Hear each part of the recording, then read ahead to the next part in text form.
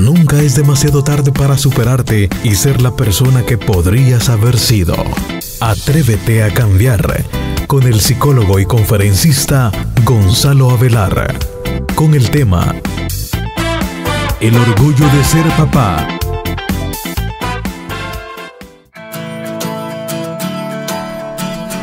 Muy buenas amigos, amigas que me escuchan en esta ocasión. Quiero iniciar dándole un saludo muy especial a aquellas personas que cada cierto tiempo nos visitan en este canal Atrévete a cambiar. A también aquellos que ya son youtuberos y que están siempre buscando, buscando nuevas cosas, nuevas informaciones, cosas que les puedan servir, que les puedan ayudar a ser mejores personas, pues bienvenidos aquí. Han encontrado ustedes el lugar perfecto, el lugar adecuado para poder cambiar, para poder ser mejores personas. Quiero aprovechar la ocasión de que estamos en el mes del Padre para eh, llevar un mensaje a todos los papás y también a todas las personas para que podamos tener un sentido de valoración hacia nuestros padres.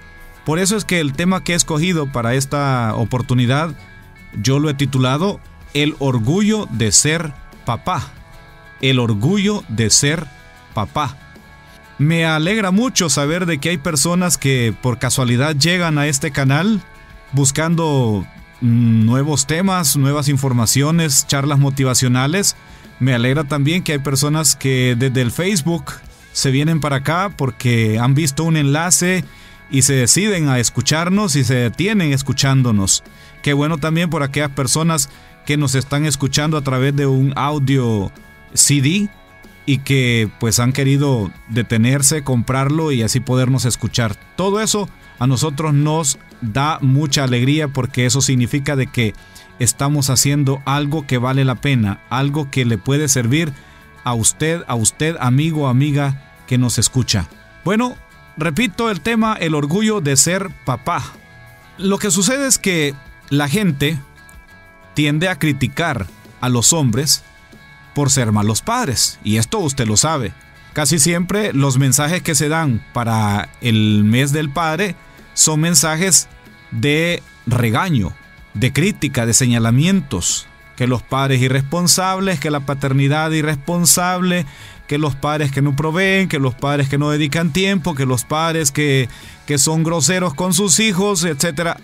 Mucha gente critica a los hombres por ser malos padres y hasta consideran que pues en realidad no debería de haber un día del padre.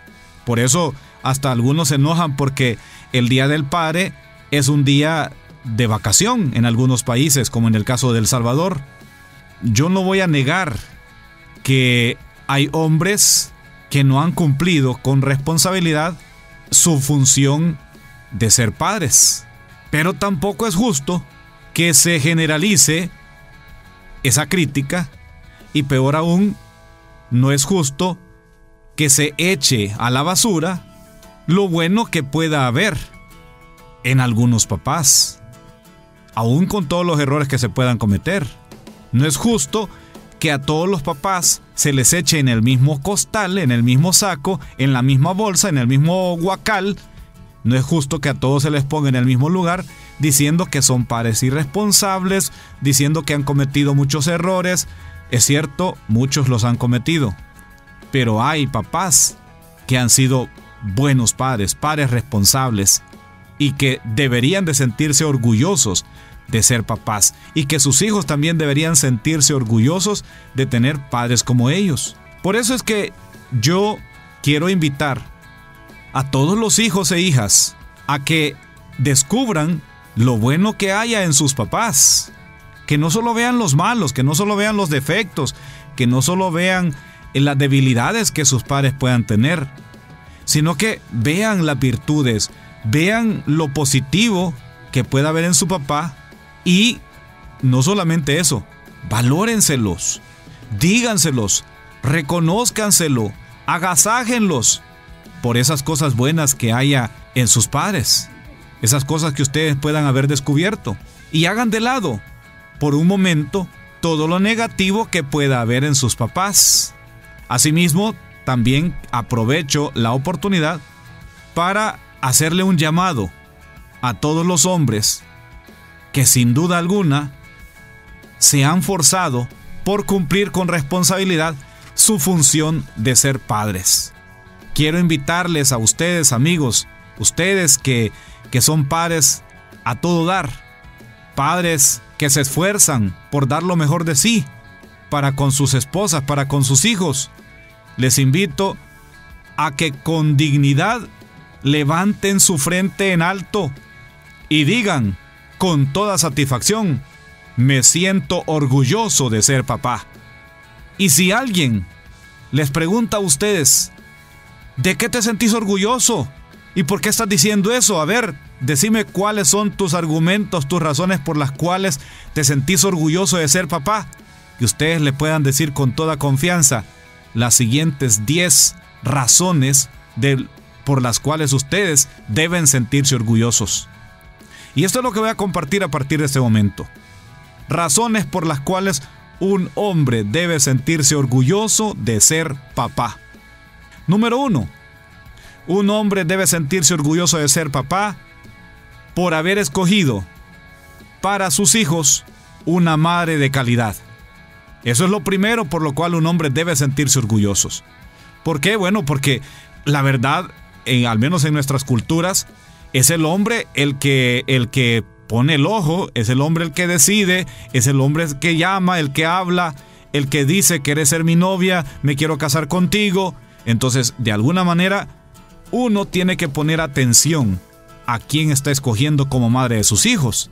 Y si uno pudo escoger a una mujer buena, hecha y derecha, responsable, de calidad, para que fuera la madre de sus hijos, pues óigame, algún mérito debemos tener nosotros. Bien lo dice el libro de Proverbios en el capítulo 18, versículo 22. El que encontró una mujer encontró la felicidad y obtuvo el favor del Señor. Es una bendición encontrarse a una esposa a todo dar, a una esposa de calidad. Es una bendición. Y la Biblia dice, el hombre que encuentra una buena esposa se debe sentir feliz.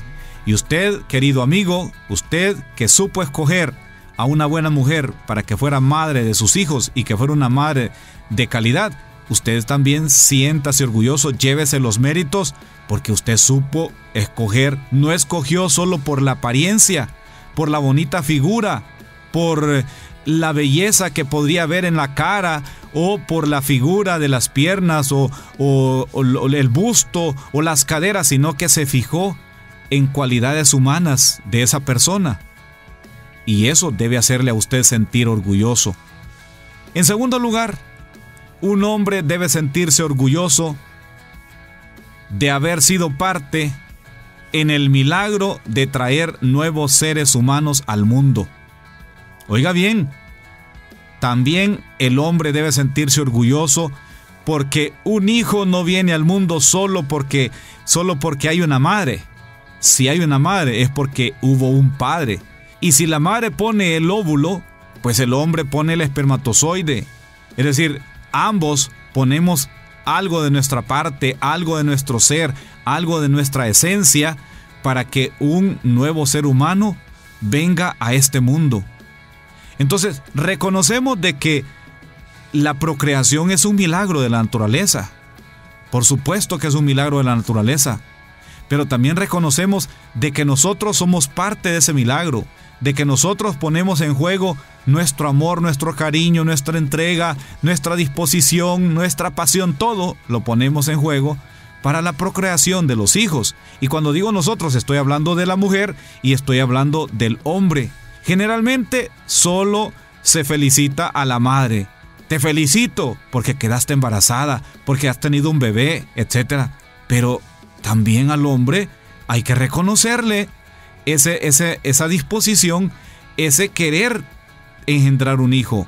Hoy en día usted sabe que hay hombres que cuando saben que su pareja está embarazada, lo primero que les dicen es que lo aborten.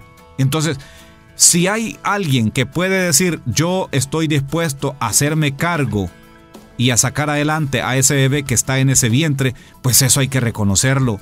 Entonces, aquí no hablo solo de engendrarlos, sino también hay que hablar del acompañamiento.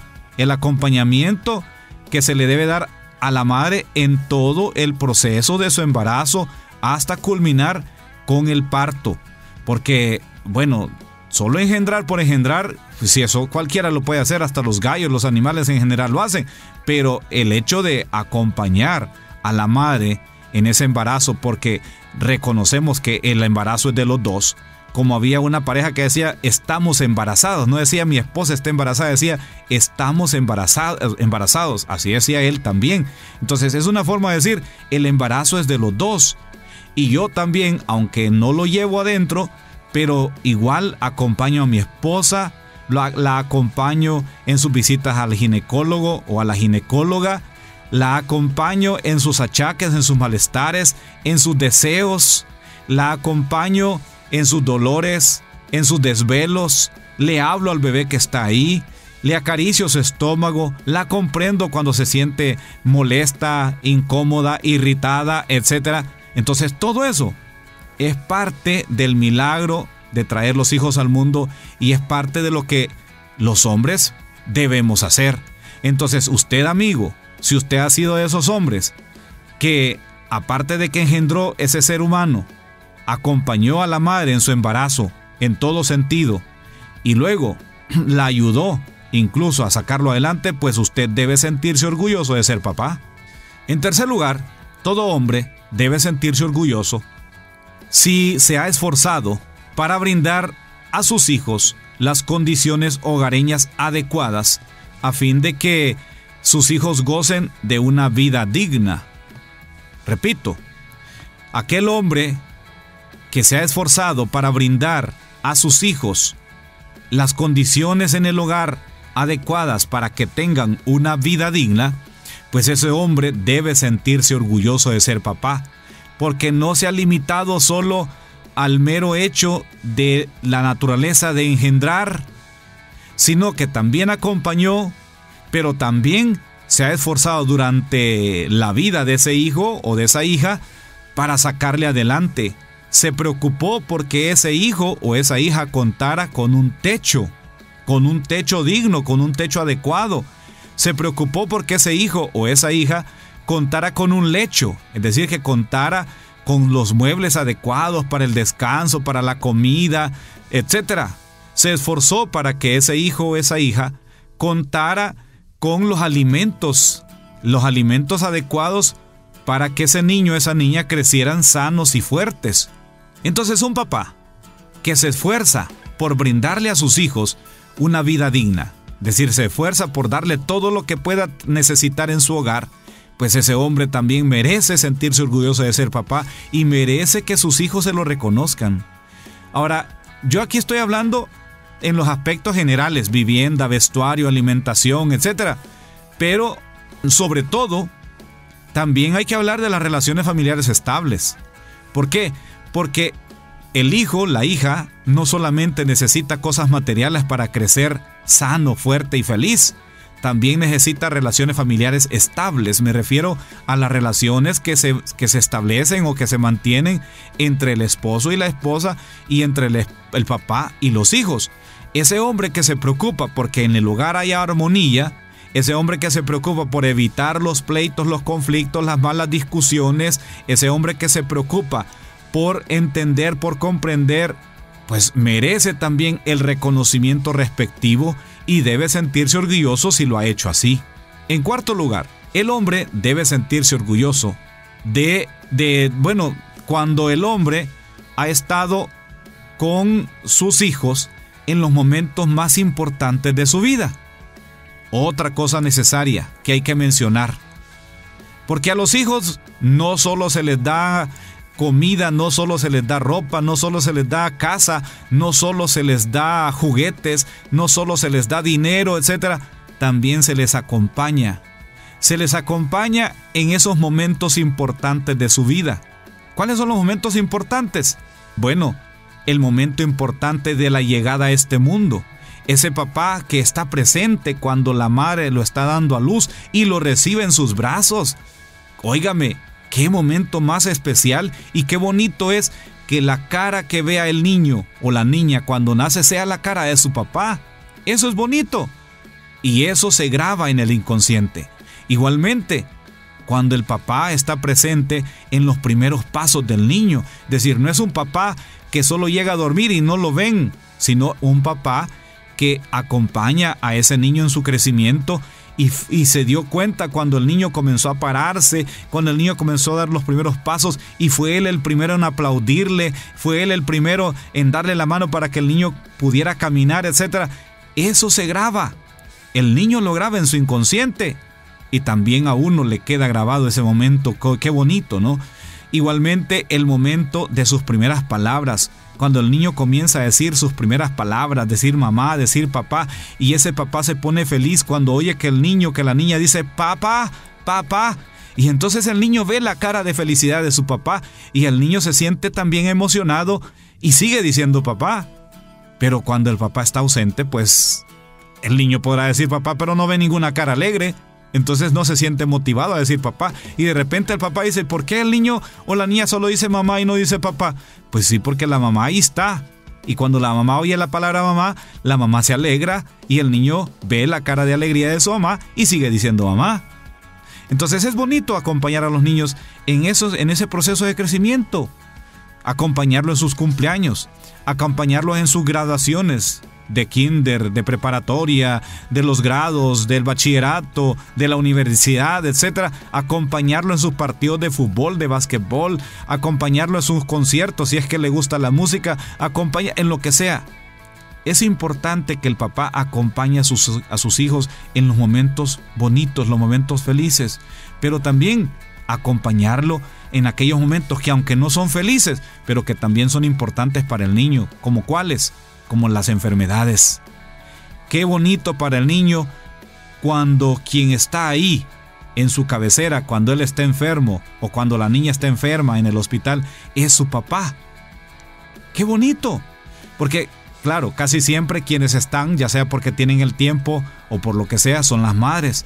Pero qué importante cuando el papá dejó su trabajo, cuando el papá dejó sus otros compromisos, cuando el papá dejó la internet, los videojuegos, la televisión, lo que sea, y se fue a acompañar al niño al hospital o lo está acompañando ahí en su lecho, en su casa, desvelándose con él. Eso el niño lo recuerda y lo recuerda con cariño. También recuerda con cariño cuando el papá sale corriendo a levantarlo cuando el niño o la niña se ha caído, cuando el niño o la niña ha tenido dificultades, tal vez dificultades en, el, en la escuela, en el colegio, en su aprendizaje, cuando el niño o la niña ha tenido tragedias, fracasos. Qué bonito es cuando el papá, en vez de gritar, ¿y por qué no te fijaste? ¿Y por qué lo hiciste? Y regaña y le dice tantas cosas groseras al niño. Al contrario, el papá comprende. Al contrario, el papá tiene paciencia. Al contrario, el papá estimula, abraza, dice estoy contigo, no te preocupes, sigue adelante, yo creo en ti. Entonces, mi, mi querido amigo, si usted ha sido de esos padres que ha estado con sus hijos en los momentos importantes, tanto de alegría como de tristeza, tanto de felicidad como de dolor, siéntase orgulloso de ser papá. Seguidamente, también aquel hombre que ha sido el maestro de sus hijos que ha sido su compañero de juegos. Óigame, vale la pena también que se sienta orgulloso de ser papá. Y vale la pena que, que sus hijos se lo reconozcan. Porque qué bonito es ese hombre que le enseña al niño a jugar a la bicicleta, a la niña a andar en la patineta, que le enseña al niño, a la niña a jugar a la pelota, que le enseña al niño, a la niña a tocar la guitarra, que le enseña al niño o a la niña a jugar fútbol, lo que sea. Ese papá que se vuelve compañero de juego de sus hijos, que se tira al suelo y juega con los carritos, con las muñecas. Qué bonito. Los niños lo recuerdan toda su vida. Sienten que ese papá no es un papá lejano, es un papá cercano. Entonces aquí se trata de haberle enseñado a tus hijos a jugar, haberle enseñado a tus hijos a eh, caminar en la bicicleta y de haber jugado con tus hijos las veces que fueran necesarios. De eso se trata, de eso estoy hablando.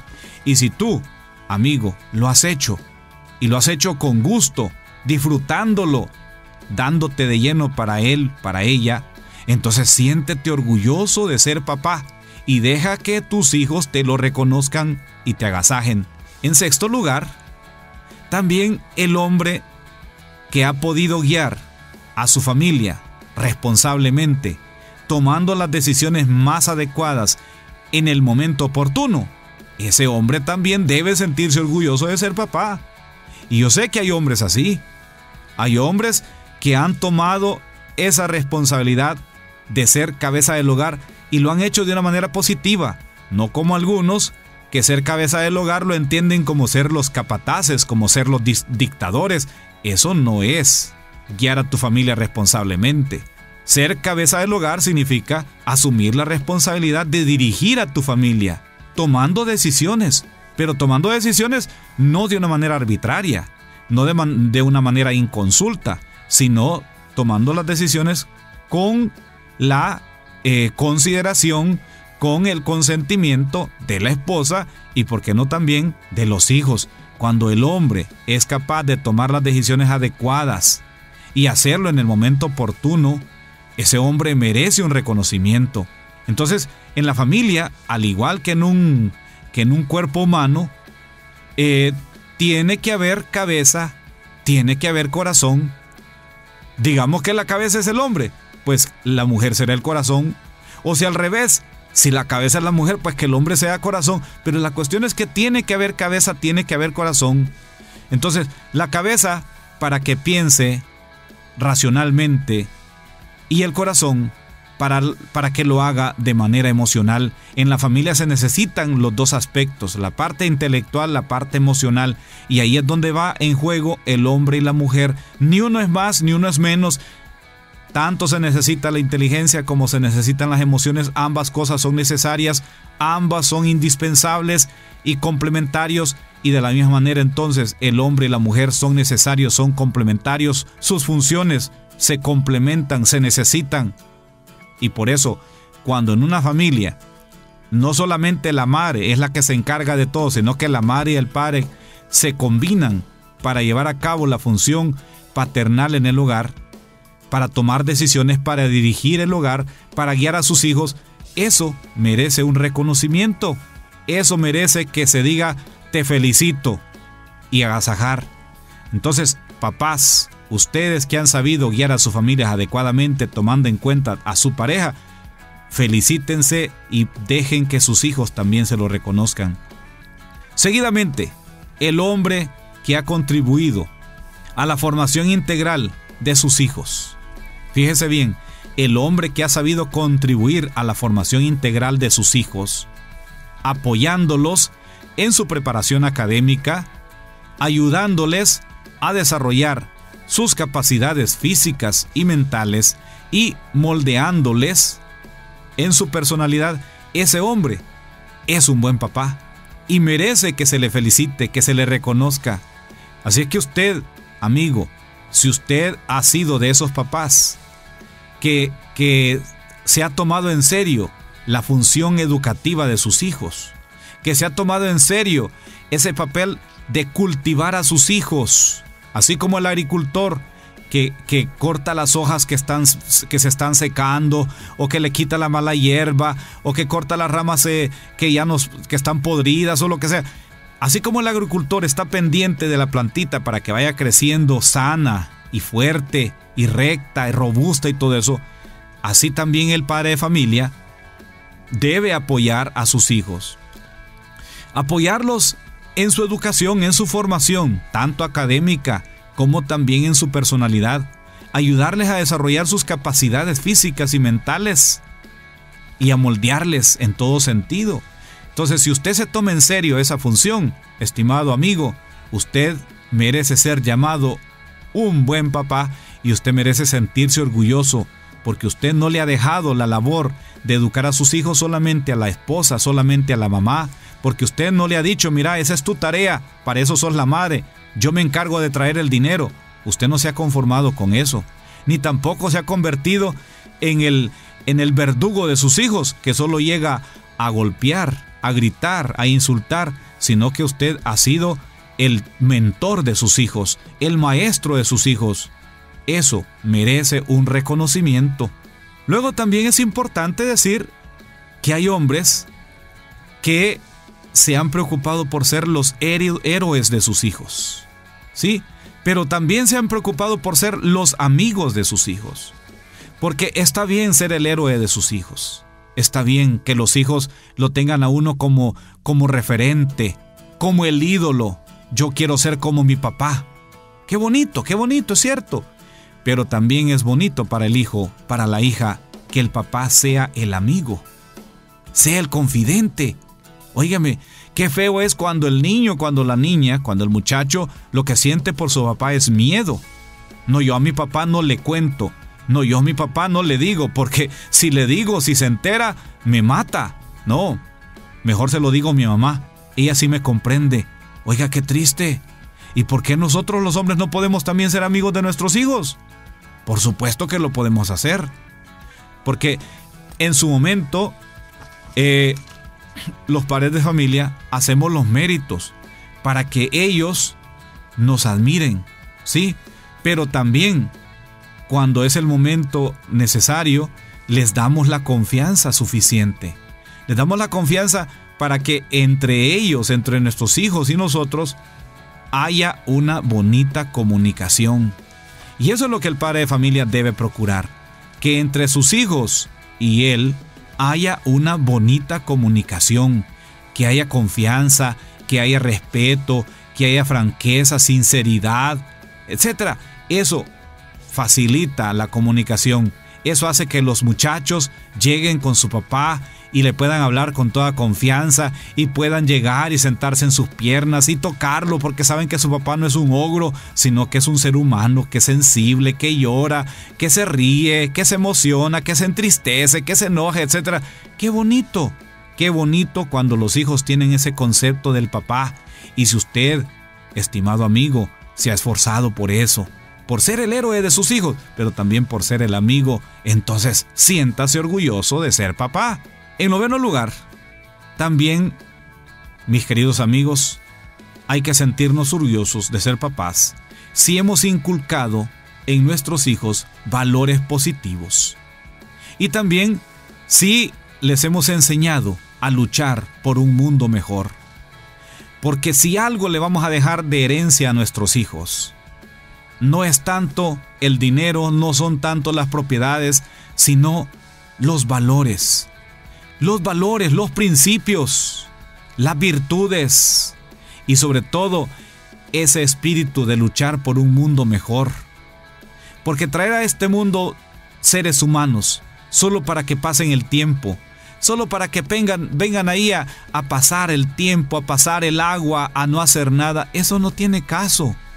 El caso es traer seres al mundo para que lo mejoren, para que lo transformen, pero que para que lo hagan diferente. Pero eso somos nosotros los guías, somos nosotros los que debemos transmitir esa actitud, ese espíritu de mejora. No le inculquemos a nuestros hijos solo el sentido de hacer cosas para ganar dinero, estudiar para lucrarse, etc.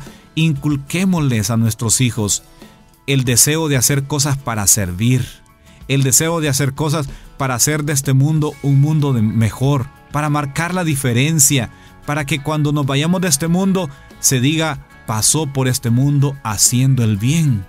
Entonces, hay que poner en, la mente de nuestros hijos ese tipo de actitud, ese tipo de, de idea. Dice qué bonito como en el libro de Proverbios le dice el papá a su hijo, Hijo mío, si recibes mis palabras y guardas contigo mis mandamientos, prestando oído a la sabiduría e inclinando tu corazón al entendimiento, si llamas a la inteligencia y elevas tu, tu, voz hacia el entendimiento, si lo buscas como si fuera plata y la exploras como un tesoro, entonces comprenderás el temor de Dios y encontrarás la ciencia de Dios. Este padre de familia ha entendido lo que significa ser papá y le está diciendo al hijo, hijo, quiero que te preocupes por las cosas trascendentes, por las cosas intangibles, por las cosas abstractas, espirituales, por lo que se permanece para siempre, como es la sabiduría, como es la inteligencia, como es el temor de Dios. Y eso es lo que el padre de familia debe hacer. Y si usted, amigo, lo ha hecho, si usted se ha preocupado por todas esas cosas, dejarle esa herencia de valores, de principios, de virtudes, de, de deseo de superar este mundo, de transformarlo, mire, usted siéntase orgulloso de ser papá. Y para terminar, estimado amigo, si usted ha sido para sus hijos un ejemplo a seguir, usted debe sentirse orgulloso de ser papá. Porque eso significa que usted ha sido el amigo, usted ha sido el maestro, usted ha sido el héroe, usted ha sido el mentor, usted ha sido el, compañero, usted ha sido todo para ese hijo, usted es el ejemplo.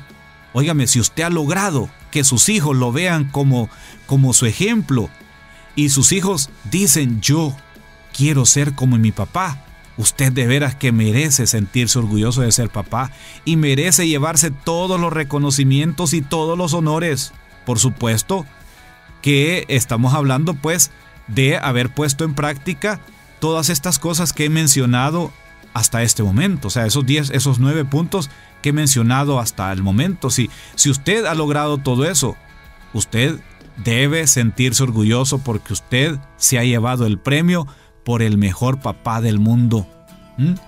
Entonces, eh, algunos a lo mejor digan, no, yo, bueno, la verdad, no, no creo yo que sea un ejemplo. Mire, hay en la Biblia un texto que me parece muy importante y que puede aplicarse a los papás. Decía San Pablo, véanme a mí, sigan mis pasos, tomen mi ejemplo. Y uno puede tener la plena seguridad que sus hijos también van a andar por el camino que usted les haya planteado si usted ha sido capaz de decirle, mírame a mí, seguí mi ejemplo. Como dice también en el libro de los Salmos, capítulo 128, es dichoso tú que honras a Dios y le eres obediente. Comerás del fruto de tu trabajo, serás feliz y te irá bien. En la intimidad de tu hogar tu mujer será como una vid cargada de uvas. Tus hijos, alrededor de tu mesa, serán como retoños de olivo. Así bendecirá el Señor al hombre que le honra. Mire qué bonito. Dichoso tu papá que has hecho todas estas cosas, que has jugado con tus hijos, que los has acompañado, que les has enseñado, que les has inculcado valores, principios. Dichoso tú que has estado con la madre de tus hijos acompañándole en sus dolores, en sus, en sus dificultades, en sus sacrificios. Dichoso tú. Porque entonces Dios te considera hombre valiente, hombre feliz, hombre que honra a Dios. Yo quiero finalizar con un poema que encontré por ahí, un poema de un escritor que se llama Juan de Dios Pesa. Y me parece muy, muy oportuno precisamente porque estamos hablando de los papás que se deben sentir orgullosos. Y este, este poema viene como de un hijo que reconoce las virtudes que tiene su papá. Yo personalmente no voy a decir que mi papá fue el mejor papá, porque yo reconozco que mi papá tuvo sus defectos y bastante grandes. Sin embargo, también puedo decir que mi papá tuvo sus virtudes y yo le agradezco por haber tenido esas virtudes. Quizás no hayan sido muchas, pero las que tuvo fueron importantes y marcaron mi vida. Por eso también, aunque él ya no está en vida, yo le dedico este poema que se llama Mi Padre. La nobleza del alma es su nobleza, la gloria del deber forma su gloria. Es pobre, pero forma su pobreza, la página más grande de su historia. Siendo el culto de mi alma su cariño, la suerte quiso que al honrar su nombre fuera el amor que me inspiró de niño, la más sagrada inspiración del hombre. Quiera el cielo que el canto que inspira siempre sus ojos con amor lo vean, y de todos los versos de mi lira, estos los dignos de su nombre sean. Muchísimas gracias por su atención y que Dios les bendiga.